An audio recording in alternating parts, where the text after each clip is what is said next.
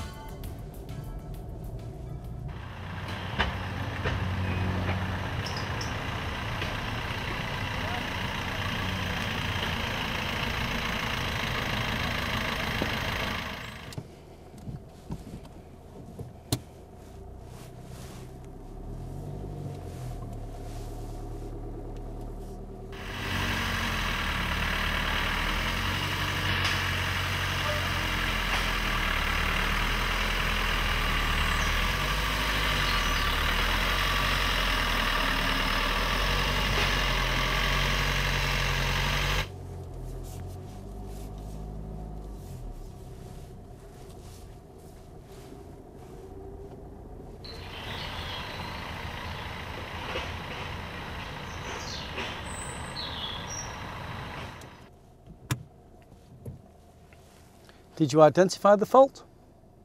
The faults were, one, as I drove past the road that I was going to reverse into, I signalled there was no need for the signal, there was no one to benefit from that. The next thing was when I pulled up at the starting point, I was much too wide from the curb. The idea was to be about a drain's width away. When I started to reverse, I did have a good look all around, but the speed of the car was too quick. I'd lost a little bit of control of that because of the speed, a little bit too wide then going around the corner itself. And equally, while I was reversing, most of my observation was done in the mirrors, as particularly the near side mirror. The mirrors are there so that you can judge where the curb is, but the bulk of the looking should be through the rear window, and Annie will now show you the correct way to carry out the exercise.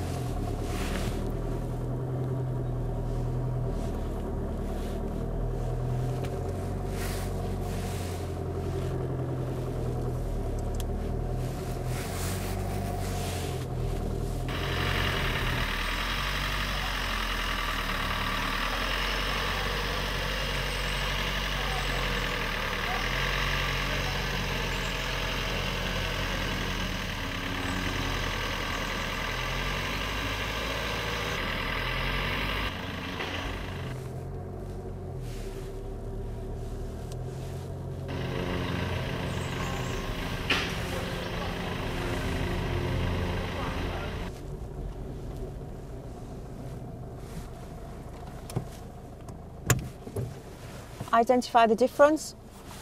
When I was approaching the corner that I was going to reverse onto, good look down it, checked my mirrors, didn't need to give an indicator for any vehicle that was coming.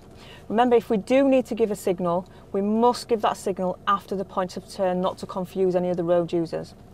Once I pulled up to the curb, I was a grate, grate width distance away from the curb, the correct distance that we want to be keeping all the way around the curb looking over the left shoulder out the back window most of the time because that's where the main danger is, glancing in the left door mirror, using that as a tool, not as the main aid. As I said before, the main danger is out the back window. Once in the new road, again, taking effective observations all around the car. Keep the car constantly moving if possible. Obviously, if we need to stop for any vehicles, we must stop, but trying to keep the car moving at the same pace.